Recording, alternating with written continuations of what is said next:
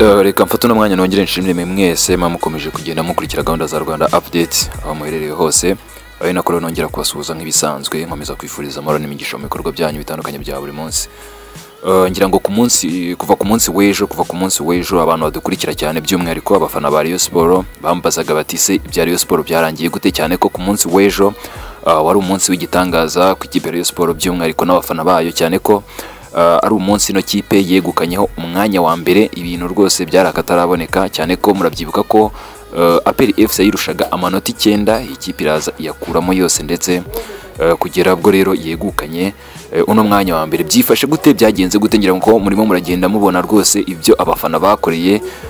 Uno mukinnyi rutahizamu w'ikipe ya Rayon Sport Uremungu ngira ngo murimo muragenda mubibona ku mafoto uno rutahizamu w'ikipe ya Rayon Sport abafana nyuma yo gusagwa n'ibyishimo rwose kubera ino nsinzi bakaba bamugaruye ikitaraganya rero bamuvaniye muri vestiaire bamugarura muri stade bamuhundagazaho amafaranga. Ngira ngo uh, icyo twavuga kuri uno mukino uh, icyo twavuga kuri uno mukino nuko ni igitego kimwe cyatsinzwe n'uno rutahizamu w'ikipe Rayon Sport Uremungu ndetse cyahishije amanota atatu ino kipe ya Rayon Sport aya manota atatu rero nubwo bayabonye avuze byinshi kuri ino kipe ya Rayon Sport uh, cyane ko rero ari amanota atatu yatumye by'umwihariko Rayon Sport yicara ku mwanya wa mbere irusha inota rimwe APR FC mukeba wayo.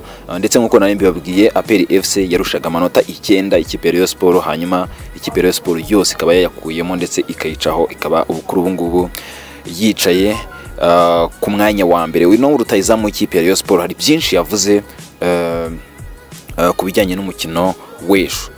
Yavuze iki byagenze gute reka tubigarukeho hanyuma tuze tunareba ese ni akahe gashya kabaye ku mukino w'ejo kaherukaga gukorwa mu mwaka w'ibihumbi bibiri eh, na gatandatu n'umwaka w'ibihumbi bibiri n'umunani.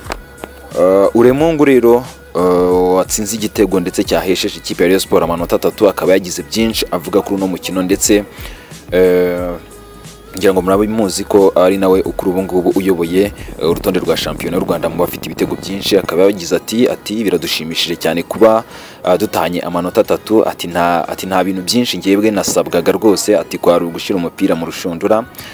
Ati icyo tugiye gukora ubu ngubu tugiye gukomeza guhatana. Ati turashaka gutsinda buri mukino wose usigaye tukigukana igikombe. Tubibutsa ko kandi eh, nyuma yo kugera muri Rayon Sport mu mpera za Mutarama uyu mwaka Uremungu amaze gutsindira iyi kipe ibitego umunani ndetse akaba ayoboye abatsinze ibitego byinshi muri shampiyona ni ibitego bye byose rwose yibitseho cumi na birindwi. Akaba avuga ko kandi arajwe inshinga uh, no gufasha bagenzi be kwegukana igikombe cya shampiyona. Naho rero ngo ibyo kuba uh, ari uwatsinze ibitego byinshi muri shampiyona y'u Rwanda ngo byo bizamenyekana ku mpera za shampiyona. Tubibutsa ko kandi ari nako gashyira no mukinnyi rwose yakoze uyu mukinnyi waguzwe miliyoni umunani muri Sunrise FC muri Mutarama uyu mwaka.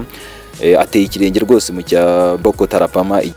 Igikuramwota nawe rero wajyaga uhamagarwa n'abafana n'ubundi bakamuhundagazaho amafaranga ubwo akiniraga ino kipe ya Rayon Sport mu mwaka w'ibihumbi bibiri na gatandatu n'umwaka w'ibihumbi bibiri n'umunani. Ngira ngo ni byinshi rwose murabona ko byari byiza cyane murabona umutoza we ibyamubayeho ni agahomamunwa murakomeza mugenda namwe mwihera ijisho. Ni Rwanda Update mugenda mudusigira ibitekerezo mba nubahiriza icyifuzo cyaba cy'abakunzi ba Rwanda Update. Baba bansabye ati amakuru uh, nuko umukino w'ejo wa Rayon Sport byagenze byose bitugezeho gatanu kuri gatanu nk'ibisanzwe. Mukora like subscribe hanyuma ngenda garuka mu kanya twikomereza